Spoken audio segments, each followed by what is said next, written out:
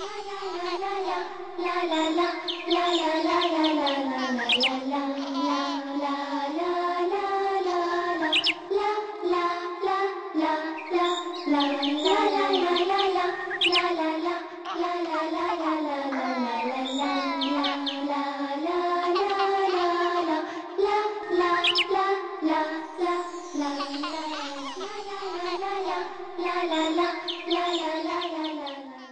السلام عليكم ومرحبا بكم. هذه حلقة جديدة من حلقات برنامج أزهر ملونة. هذا البرنامج يأتيكم محملا بالعطر الزكي وبالمعلومات المفيدة. إنه رحلة الكلمة المفيدة والكلمة الطيبة. دعونا الآن نبدأ برنامجنا بأولى الفقرات. ألا وهي آيات بينات. فكونوا معنا.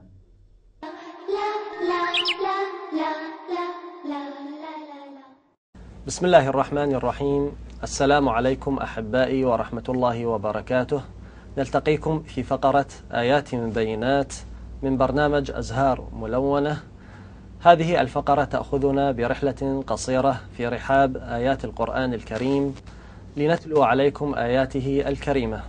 هذا اليوم اخترنا لكم سورة الماعون المباركة حيث إن شاء الله تعالى سنتلو عليكم ما تيسر من آياتها أعوذ بالله من الشيطان الرجيم. بسم الله الرحمن الرحيم. أرأيت الذي يكذب بالدين؟ فذلك الذي يدع اليتيم. ولا يحض على طعام المسكين. فويل للمصلين الذين هم عن صلاتهم ساهون. الذين هم يراءون ويمنعون الماعون. أحبائي هذه السورة المباركة تتحدث عن أهوال يوم القيامة بما يدل على أنها سورة مكية وذلك على رأي أكثر المفسرين. فهذه السورة تتحدث عن خمس مراحل لمنكري أعمال يوم القيامة ويومها المهول والذين بسبب هذا الإنكار لا ينفقون على اليتامى والمساكين ولا يساعدون ولا يساعدون المحتاجين. كذلك هم يساهون عن صلاتهم ولا يلتفتون إليها ولا يعطوها الأهمية التي أوجبها الله سبحانه وتعالى. هذه السورة تقرع آذاننا بلحن بلحن بآياتها القصيرة التي تتوعد لهؤلاء بالنار التي أوعدها الله سبحانه وتعالى لمنكري هذا اليوم. نعم. تفضل محمد اقرأ هذه السورة. أعوذ بالله من الشيطان الرجيم. بسم الله الرحمن الرحيم. أرأيت الذي يكذب بالدين؟ فذلك الذي يدع اليتيم. ولا يحض على طعام المسكين. فويل للمصلين الذين هم عن صلاتهم ساهون. الذين هم يراءون ويمنعون الماعون. أحسنت كثيرا بارك الله فيك. طبعا ملاحظة إلى الأخوة المشاهدين أن في هذه السورة آية فويل للمصلين حيث لا يصح الوقوف على رأس هذه الآية مع أن الوقوف على رؤوس الآيات هي من المستحبات. لكن حينما ننظر إلى هذه السورة وهذه الآية فننظر أنه فويل للمصلين. هل من المعقول أن الله سبحانه وتعالى يتوعد للمصلين بالويل والعذاب؟ هذا غير صحيح. بينما الأصح في التلاوة أن تقرأ فويل للمصلين الذين هم عن صلاتهم ساهون. نعم هذه الملاحظة. سبب نزول هذه الآية أنها قيل نزلت في أبي سفيان حيث كان ينحر من الإبل اثنين في كل يوم ويطعم أصحابه. ويتيما جاءه ومحتاجا جاءه ليطلب إطعامه فنهره وضربه بعصاه. وقيل أنها نزلت في الوليد بن مغيرة وقيل أيضا أنها نزلت في العاص بن وائل. نعم نحاول أن نقرأ هذه السورة بشكل جماعي أقرأ وتتفضل آه، من بعدي أعوذ بالله من الشيطان الرجيم. أعوذ بالله من الشيطان الرجيم. بسم الله الرحمن الرحيم. بسم الله الرحمن الرحيم. أرأيت الذي يكذب بالدين؟ أرأيت الذي يكذب بالدين؟ فذلك الذي يدع اليتيم. فذلك الذي يدع اليتيم ولا يحض على طعام المسكين ولا يحض على طعام المسكين فويل للمصلين الذين هم عن صلاتهم ساهون فويل للمصلين الذين هم عن صلاتهم ساهون. الذين هم يراءون. الذين هم يراءون. ويمنعون الماعون. ويمنعون الماعون. صدق الله العلي العظيم. صدق الله العلي العظيم. أحسنت كثيرا. نرفع أيدينا بالدعاء. اللهم إخلاص النية أمر عسير فأعنا عليه بفضلك. ربنا هب لنا إيمانا يجعل معيار تفكيرنا ثوابك وعقابك ويساوي في أنظارنا بين سخط المخلوقين ورضاهم ورضاهم في السلوك إليك. إلهنا اغفر برحمتك زلاتنا بحق محمد وآل محمد. اللهم صل على محمد وآل محمد برحمتك يا أرحم الراحمين. وآخر دعوانا أن الحمد لله رب العالمين وصلى الله على محمد وآله الطيبين الطاهرين. أحبتي وفي ختام هذه الفقرة من آيات بينات وضمن برنامج أزهار ملونة. نلتقيكم في فقرات جديدة إن شاء الله تعالى. آملين أن تكونوا بصحة وسلامة وخير وبركة مع القرآن الكريم وفي جوه المبارك. والسلام عليكم ورحمة الله وبركاته.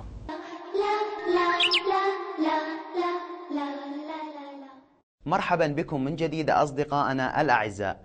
نترككم الآن وفقرة عيادة الطبيب فكونوا معنا.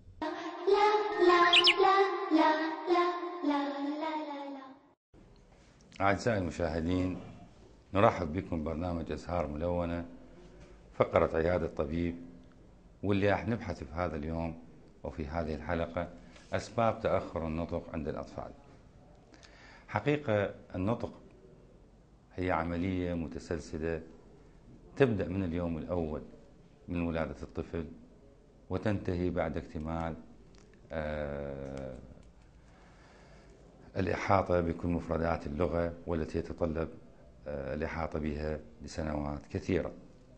الطفل يبدأ بالتعبير عن مشاعره بالبكاء في بدايات أيام الأولى يعبر فيها عما يختلج في داخله أو احتياجاته ثم يبدأ بتعلم المصطلحات والكلمات التي تدور حول من الناس الذين يقومون بالعناية به أو المحيطين به ويبدأ بتعلم مفردات اللغة وقد تكون هذه المفردات عالميا في كل الأجناس هي كلمة الأب والأم يتعلمها الطفل في بداياته في بدايات الأشهر الأولى من حياته متى يبدأ القلق عند الطفل؟ حقيقة البحوث الحديثة أثبتت أن الطفل يشعر بالقلق وله مشاعر كاملة وهو في داخل الرحم حيث رغوا أنه هذا الطفل بعد تصويره بأجهزة السونر أنه تتأثر حركته ويقوم بإيماءات للحزن أو للفرح مرتبطة مع الحالة النفسية والحالة المحيطة بالأم. ولذلك قد يكون القلق آه، في داخل الطفل منذ آه، بدايات العمر. وهذا تترتب عليه في بعض الآثار مسألة أخرى في النطق وصعوبات النطق وهي التأتأة. التأتأة هي عملية صعوبة في استخراج بدايات الكلمات الحروف الأولى من الكلمات حيث يبقى يرددها الطفل إلى أن تخرج الكلمة. وهذه الحالة هي حالة نفسية مئة بالمئة. لها أسباب نفسية كثيرة تتعلق بطبيعة التربية والظروف والضغوط اللي يتعرض لها الطفل سواء كانت ظروف وضغوط نفسية أو اجتماعية. اللي إحنا نلاحظها في خلال فحصنا لبعض المرضى اللي يعانون من هذه أو الأطفال اللي يعانون من هذه التأتة أنهم أما آه، عندهم غيرة شديدة من إخوانهم أو يكون تعامل الأب والأم مع هذا الطفل بقسوة بحيث يسبب نوع من الرعب والخوف عند الطفل واللي يترك اثار النفسية على آه، هذا الطفل وبالتالي يظهرها الطفل كنوع من رد الفعل الجسماني. لهذا الضغط النفسي بالتأتأة أو بأعراض أخرى آه، ما تخص النطق الآثار المترتبة على هذه التأتأة هي أنه قد تكون هي نوع من المعوق أمام تطور الطفل في المدرسة أو في أن يعيش حياة اجتماعية طبيعية بحيث يبدأ هذا الطفل بالخجل من هذه الحالة التي لا يسيطر عليها وبالتالي ينسحب من الفعاليات الاجتماعية وممكن أن تسبب آثار اجتماعية. آه، كثيرة آه، تمنع تطور الطفل بصورة طبيعية. كما أسلفت أن أسباب التأتة هي ليست أسبابا عضوية ففي كثير من الأحوال أكثر من 90% من هذه الحالات هي ذات أسباب نفسية يجب على العائلة أن تلاحظها.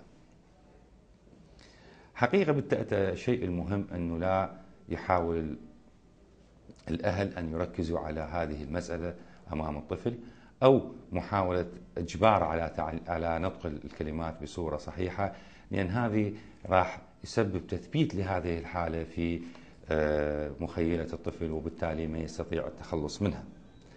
في بعض الأحيان الطفل يلجأ إلى هذه التأتئة ليشد الانتباه انتباه الأب والأم والمحيطين به إليه خاصة في الحالات اللي يكون هناك طفل آخر تتوجه العائلة باهتمامها إلى طفل أصغر من عنده وبالتالي هو يشعر بالغيرة الشديدة من هذا الوضع ويحاول أن يثير أو آه، يجلب انتباههم له العوامل اللي تأثر على تطور النطق عند الطفل عديدة. لكن الشيء المهم اللي يجب أن نركز عليه أنه هو هل هذا الطفل سليم أي أنه يمتلك حاسة سمع سليمة بحيث يستطيع تعلم النطق. المسألة الثانية هي مسألة التعليم حيث يجب على العائلة أن تدرب الطفل على آه، تعلم نطق الكلمات وترديدها وتشجيعه بمختلف الوسائل عند نطق كلمات جديدة مما يجعل هذه العملية عملية بناءة. العائلة أيضا يجب أن تراقب الطفل حتى تعرف هل أنه هذا الطفل يشكو من مشاكل معينة تمنعه من تعلم النطق. أهم مشكلة تواجه العائلة هي معرفة هل أنه الطفل يسمع بصورة جيدة أو لا. في حالة عدم سمعة أو عنده ضعف في السمع هذا الطفل ما يقدر أن يسمع الكلمات بصورة صحيحة وبالتالي ما يمكن أن ينطقها أو يتعلم نطقها بصورة صحيحة. فلذلك العائلة يجب أن تنتبه بأشياء بسيطة وخاصة الأم اللي هي تعيش مع الطفل أنه تعرف طفلها عنده مشكلة بالسمع أو لا. في حالة مراقبة الطفل عند حدوث آه، أو سقوط أشياء معينة في داخل البيت يشوف رد فعل الطفل. هو حتى في المهد ممكن أنه نباوع أنه هل هو هذا الطفل يرمش بعينه لما يعني تنغلق الباب بقوة أو يصير فد صوت عالي أو عدم الاستجابة. هاي دائما الأمهات يأتون إلى الطبيب وملاحظين هاي الملاحظة على الطفل وبعد أن ندخل بالفحوصات الدقيقة نلاحظ أن الطفل عنده مشكلة بالسمع وبالتالي هو ما يستطيع أن يتعلم النطق بصورة صحيحة. إلى هنا أعزائي المشاهدين تنتهي فقرة عيادة الطبيب من برنامج أزهار ملونة. السلام عليكم ورحمة الله وبركاته. لا لا لا لا لا لا لا لا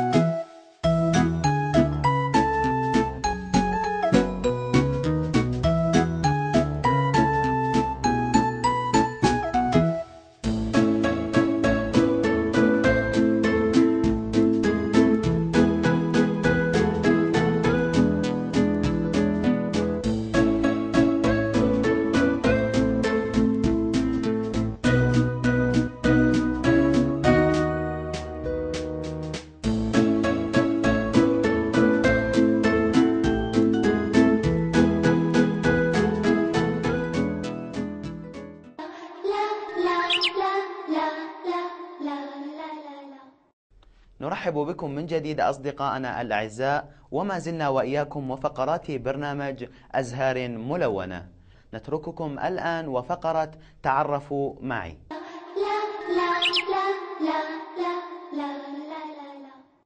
جاء في موسوعة دائرة المعارف إن الإمام جعفر الصادق جاء لزيارة جده أمير المؤمنين فلما أدى مراسيم الزيارة خرج إلى كربلاء. واغتسل بماء الفرات وتوجه ماشيا نحو قبر جده وعند وصوله إلى باب الحرم الشريف انكب على القبر وقال السلام عليك يا وارث آدم صفوة الله. ثم رجع إلى الغاضرية وبقي فيها وسميت تلك الأراضي بالجعفريات في شمال كربلاء. وقد مر هذا المكان الطاهر كغيره من الأماكن المقدسة بظروف متباينة من الاهتمام وعدمه حيث أرادت القوى الظالمة أن تمحو أثر أهل البيت عليهم السلام. أينما كان بمختلف الوسائل والطرق فقد تعرض المقام الشريف للهدم مرتين. الأولى كانت عام 1991 بعد الانتفاضة الشعبانية والثانية قبل عدة سنوات على يد دائرة الأمن المجاورة للمقام الشريف. عندما تدخل إلى المقام تجد ساحة جميلة تتوسطها نخلة. قطعت هذه النخلة بالأيدي الآثمة ولكن المدهش أن نبتت مكانها نخلة أخرى دون أن يقوم أحد بزراعتها. كان مقام الإمام الصادق عليه السلام حتى عام 2000 يفتقر إلى الخدمات بصورة كبيرة. ليس فيه سقف والأرض التي تحيط به غير مهيئة للصلاة وكان مزارا بسيطا. يحيط به حائط طوله متر وارتفاعه تقريبا متر ونصف ومعلقة عليه زيارة حيث كانت التوسعة والبناء ممنوعة بجوار دائرة الأمن المنبوذة. بعد سقوط حكم الطاغوت في العراق وتدفق الزوار على مدينة كربلاء المقدسة لزيارة الإمام الحسين عليه السلام تم تعمير المقام بهذه الصورة التي نراها اليوم وهو شاهد من قبل الإمام الصادق عليه السلام على أهمية زيارة الإمام الحسين عليه السلام حيث إن الإمام جعفر الصادق يشد الرحال إلى هذه الأرض المقدسة ويترك هذا الأثر المبارك كدليل على المواظبة والجد على زيارة سيد الشهداء وأصحابه الميامين لما لهذه الزيارة من أثر في نفوس المؤمنين.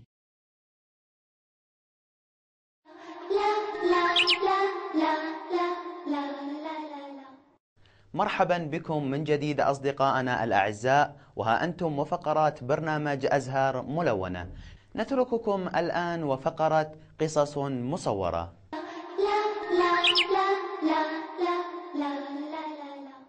بينما كانت زينب وأخوها جعفر منشغلين بتحضير واجباتهم المدرسية.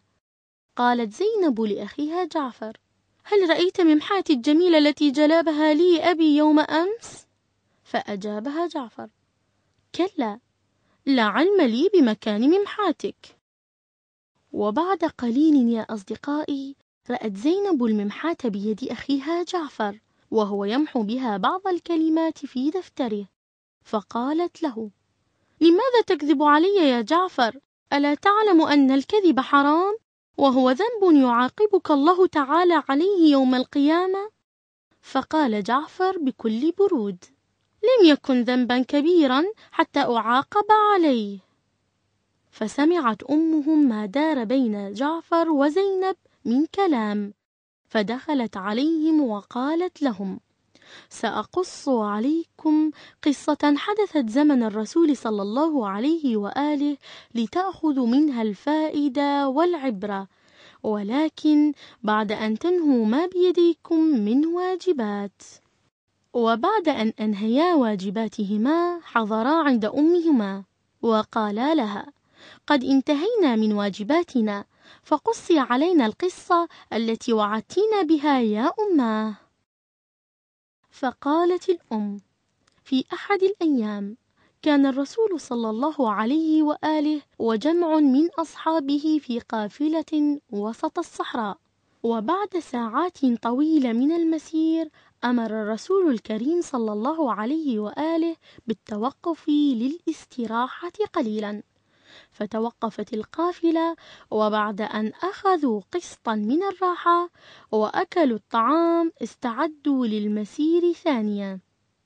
فقال لهم صلى الله عليه وآله قبل أن نواصل مسيرنا علينا جميعا أن نجمع ما يمكن جمعه من الحطب.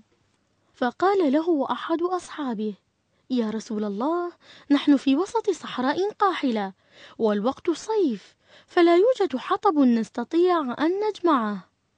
فقال رسول الله صلى الله عليه وآله ليذهب كل واحد منكم إلى جهة من هذه الصحراء ويلتقط ما يصادفه من الحطب حتى وإن كان قليلا ليحضره إلى هذا المكان. فتوزع الأصحاب كل منهم إلى جهة من الصحراء للبحث عما يصادفهم من قطع الحطب امتثالا لأمر الرسول صلى الله عليه وآله. واتخذ الرسول جهة معينة من الصحراء ليفتش فيها عن الحطب. وبعد برهة من الوقت عاد الأصحاب وكل منهم يحمل الشيء القليل من الحطب. وقال أحدهم لا بد من حكمة للرسول في ذلك فلننتظر حتى يأتي ونعلم بما يريد أن يصنع به. فقال أحد الأصحاب ها قد جاء الرسول. فنظروا جميعا ليديه الكريمتين وقد حملتا بعض الأعواد الصغيرة من الحطب. وحين وصوله صلى الله عليه وآله إليهم وضع ما في يديه من أعواد صغيرة وقال لهم ضعوا ما في أيديكم من الحطب فوق هذه الأعواد. فقام كل واحد من الأصحاب بإلقاء ما في يده من أعواد قليلة في ذلك المكان ويعود إلى مكانه. وبعد أن انتهى الجميع قال الرسول صلى الله عليه وآله انظروا إلى ما جمعتم من الأعواد وقد أصبح حزمة كبيرة لا يستطيع أحدكم حملها بمفرده على ظهره. فاندهش الأصحاب أجمعهم وقالوا لم نكن نعلم أن القطع الصغيرة التي التقطها كل واحد منا ستصبح بهذا الحجم عندما تجمع مع بقية ما التقطه الأصحاب. فقال الرسول صلى الله عليه وآله يا أصحابي إن الذنوب الصغيرة تجتمع وتصبح كبيرة كما اجتمعت الأعواد الصغيرة وأصبحت حزمة كبيرة من الحطب. فإن الله تعالى يحصي الذنوب صغيرها وكبيرها وتصبح عليكم ثقيلة يوم القيامة. لا تستطيعون حملها وتحمل أعقابها. فبكى الأصحاب كلهم وقالوا نعوذ بالله من صغائر ذنوبنا. فالتفتت الأم إلى جعفر وهو خجل من فعلته وهو يقول نعم يا أماه نعوذ بالله من صغائر ذنوبنا. وعلى الفور قام وقبل رأس أخته زينب معتذرا لها ووعدها ألا يكذب أبدا وألا يستخف بالذنوب مهما كانت صغيرة. لا لا لا لا لا لا. أحبائي نرجو من الله العلي القدير أن نكون قد وفقنا لرضاكم حتى نلقاكم في ذلك الحين نودعكم بتحية الإسلام لنقول لكم السلام عليكم ورحمة الله وبركاته